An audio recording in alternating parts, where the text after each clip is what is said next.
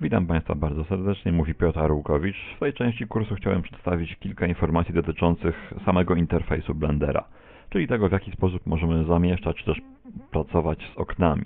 Osoby, które pracowały w Blenderze w wersjach 2.40 z tej starszej serii mogą mieć pewne trudności z przestawieniem się natychmiastowym, dlatego że interfejs Blendera w tej nowej wersji jest zrobiony całkowicie inaczej. Otóż mamy po staremu widok 3D, ale on ma ciemniejsze kolory i wszystkie panele są raczej pionowe niż poziome. To, że one były poziome w starej wersji wydawało się wygodne, gdy korzystało się ze starej wersji.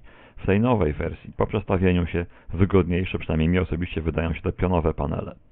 I teraz od czego zacząć? Otóż tak jak powiedziałem, na samym środku ekranu mamy widok 3D. To jest widok, który teraz obracam, używając wciśniętego kółka myszy.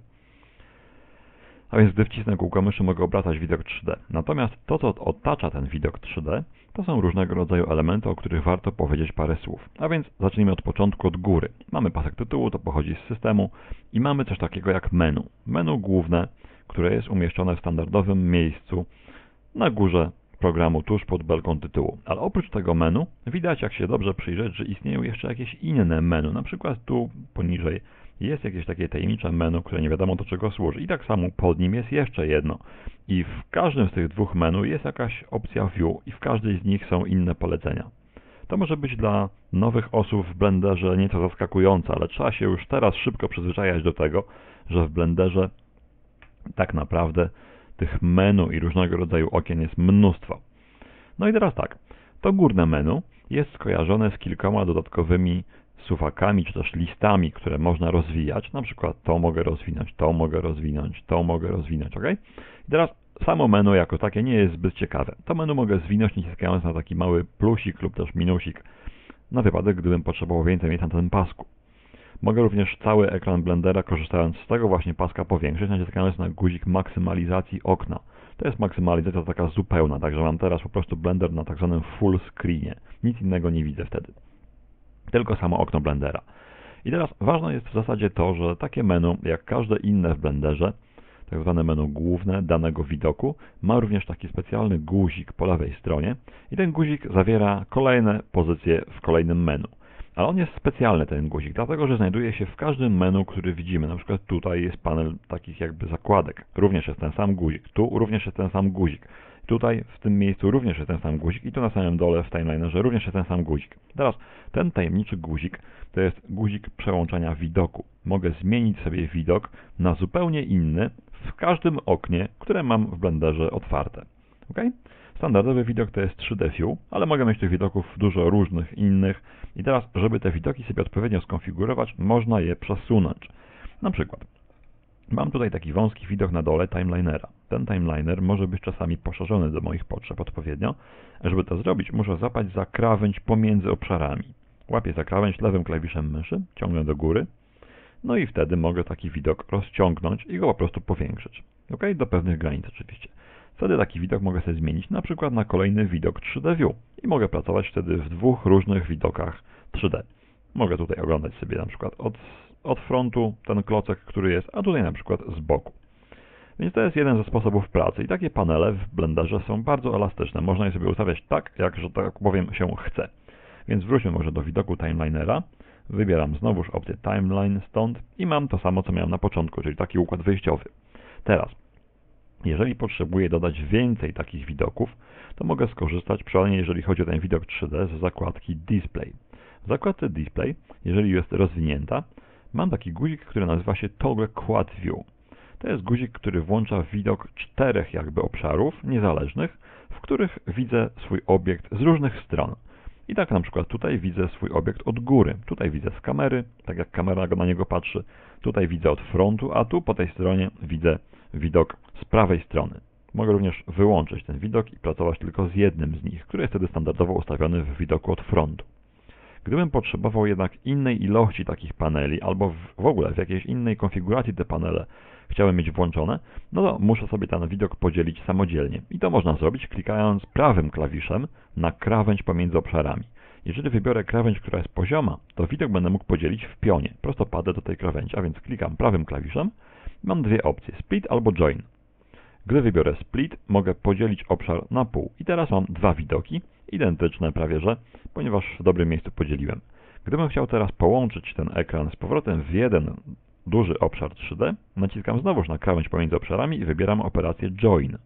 W tym momencie Join jeszcze nie następuje. Muszę jeszcze wskazać, który obszar ma zniknąć, a który ma być to obszar, pokazuje mi ta szara strzałka, która jest na takim obszarze, który wybrałem. A więc ten obszar teraz zniknie, jeżeli kliknę lewym klawiszem myszy.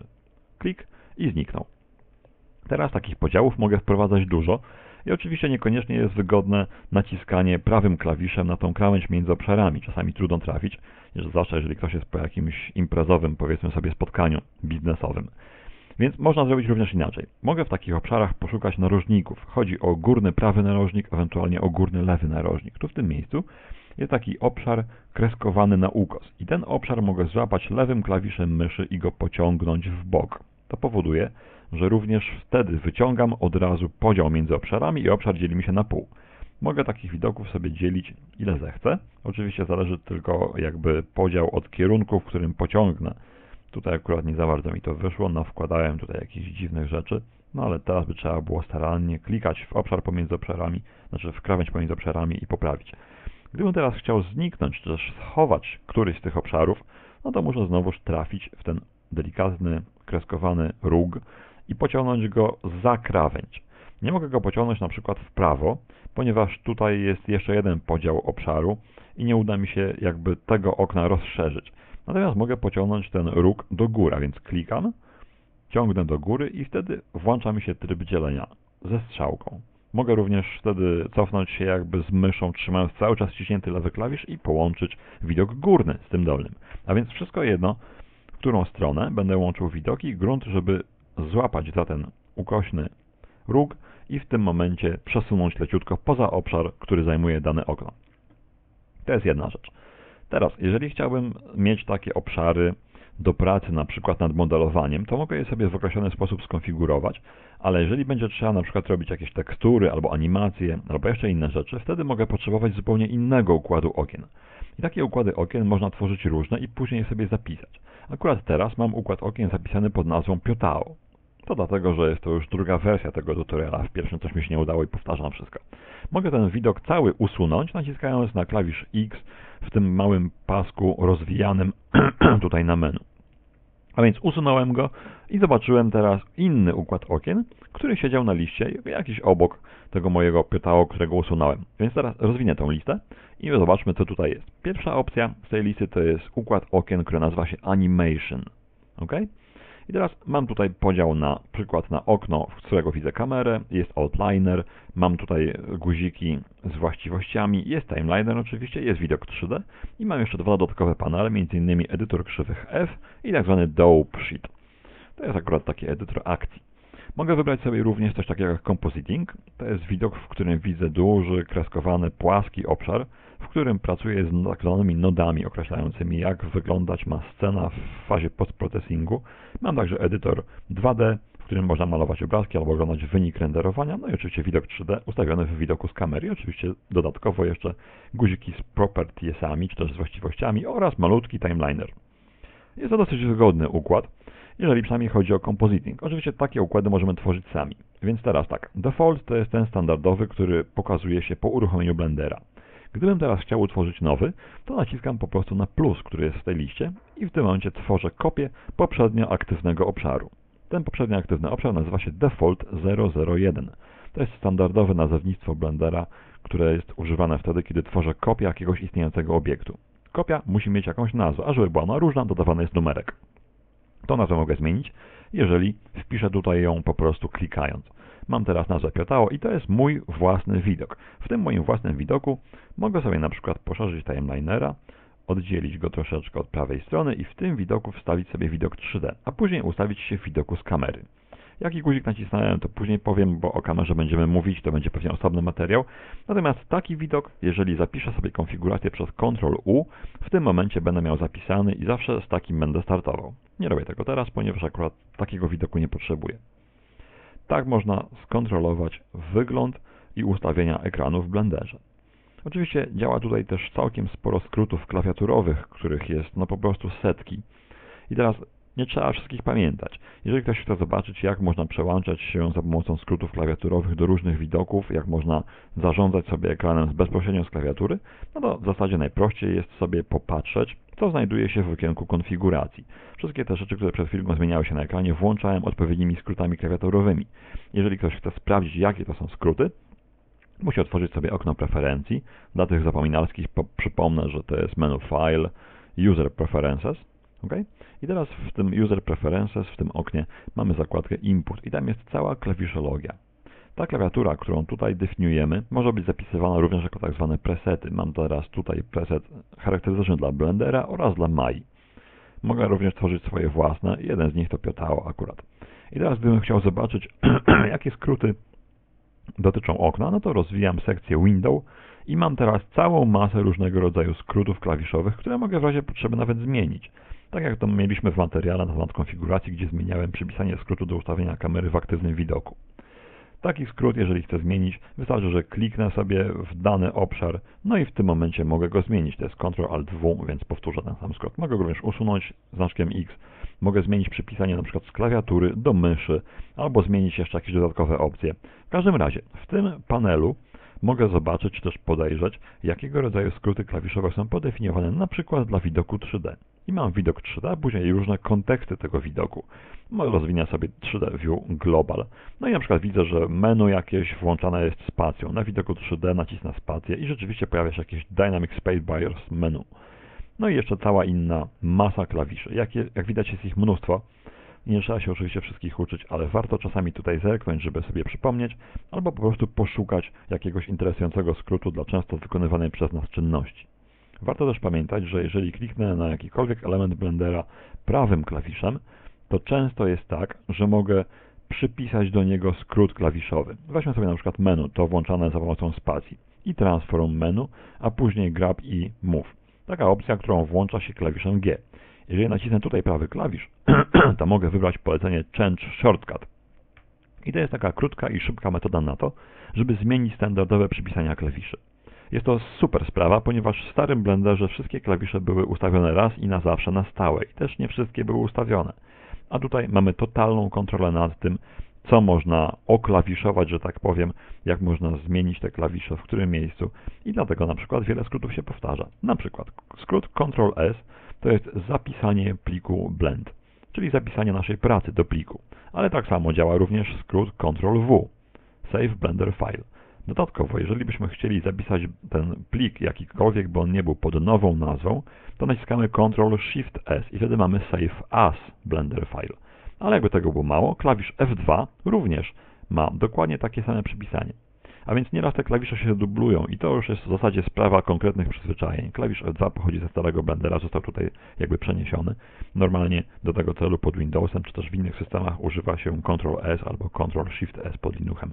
To jest skrót, który oznacza Save As.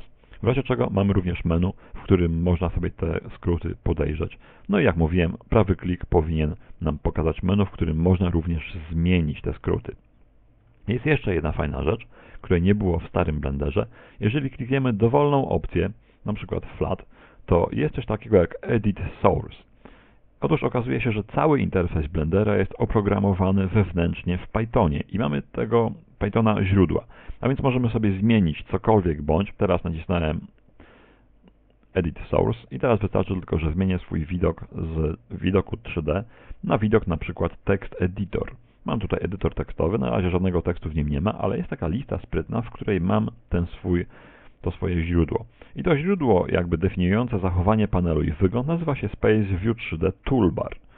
Jeżeli wyświetlę sobie źródło, no to tutaj mam podefiniowane wszystkie klasy elegancko i jestem kurs, z kursorem ustawiony w tym miejscu, które odpowiada za opcję, którą kliknąłem. Tutaj mamy opcję płaski, cieniowanie płaskie. Jeżeli zmienię tę treść, zapiszę, uruchomię od nowa ten skrypt przez run, w tym momencie w interfejsie mi się zmieni tak naprawdę napis albo jakaś inna rzecz. A więc w razie potrzeb i w ramach posiadanych przez siebie umiejętności, każdy jest w stanie zmienić interfejs Blendera i dostosować go całkowicie do własnych potrzeb. Jeżeli będę chciał, mogę przepisać te wszystkie słowa, które tutaj są, wszystkie polecenia na chiński, albo dodać nowe guziki, albo jakieś nowe panele. W zasadzie wszystko można teraz już zrobić, ponieważ mamy dostępny kod źródłowy Pythona, który steruje wyglądem całego interfejsu. No i dlatego również tak fajnie się definiuje klawisze. Ok, myślę, że to na początek wystarczy. To, co trzeba zapamiętać, co przyda się w pracy, to to, że panele możemy przesuwać, że klikając Ctrl i kółko myszy możemy je skalować, no i że można je również dzielić albo łączyć, używając narożników tych kreskowanych. Ok? To jest coś, co się przydaje w normalnej pracy. Może jeszcze słowo na temat tych paneli Transform i Object Tools oraz narzędzi, które tutaj są. Otóż narzędzia są tutaj po prawej stronie. Włącza się je standardowo klawiszem N. N pokazuje albo chowa taki panel, tak samo jak te narzędzia, które są po lewej stronie. Ten panel włączany przez klawisz T albo przez drugi raz klawisz T. Ok? No, myślę, że to wystarczy w tym materiale. To jest tak lekko za długi tutorial. No więc dziękuję za uwagę. Do ponownego spotkania. Na razie.